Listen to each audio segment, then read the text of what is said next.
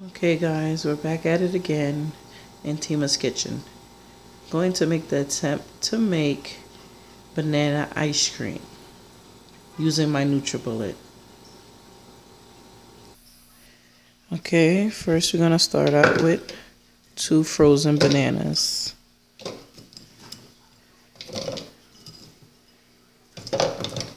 Almost dropped that one. And then we're going to add a third of cream. That's just my preference. You don't have to add milk or cream if you don't want to.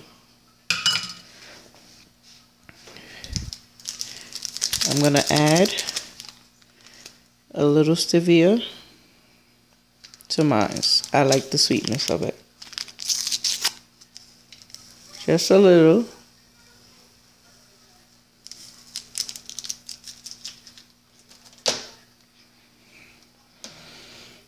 That's it.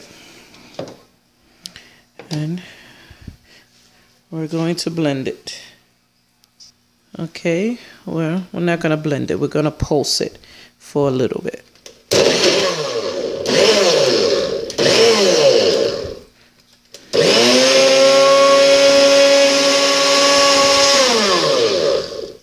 Okay, we're going to shake it.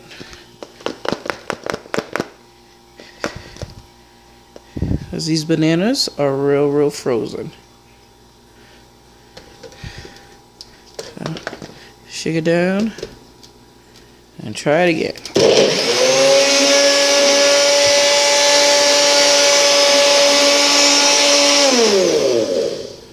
Okay, I'm gonna shake it some more. I'm gonna come right back. Okay, we're gonna try it again.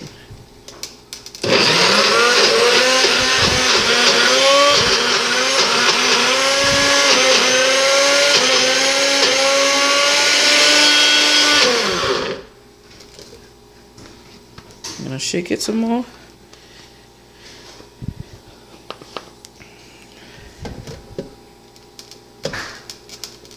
And I'll be back with the final results.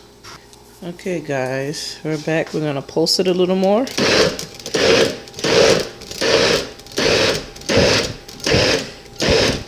And then we're gonna let it work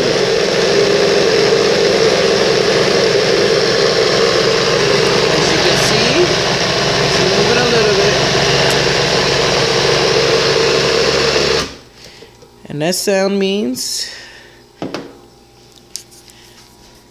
that we're ready. Okay, guys. And we're to see. Ooh, that looks yummy. And there you go. We're to scoop it out into a spoon. Into a bowl, sorry. Ooh. Look at that. This is my first time making it. It looks pretty good. I'll take the easy way and scoop it all out. And there you have it, guys. Banana ice cream made in a NutriBullet. Stay tuned for more from Teama's house.